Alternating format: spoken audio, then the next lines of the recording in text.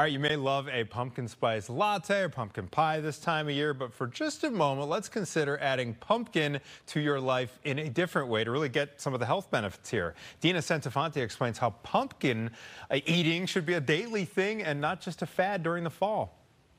Think about all the time and effort you put into carving those pumpkins, and now dedicate a little bit of that to eating more pumpkin.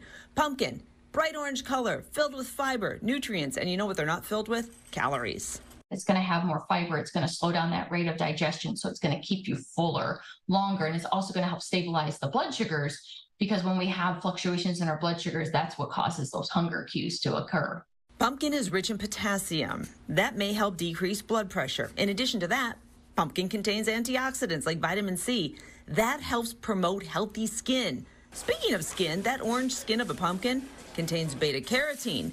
And when you eat beta carotene, the body converts it to vitamin A. Vitamin A has anti inflammatory properties and enhances eye and immune health. So, how do you carve out ways to add more pumpkin to your diet? Here's a recommendation you're looking for canned, pure pumpkin, no sugar added. Throw it into your bread recipe, your pancakes, even your favorite sauce. You can even puree pumpkin, turn it into hummus, grill it as a side dish.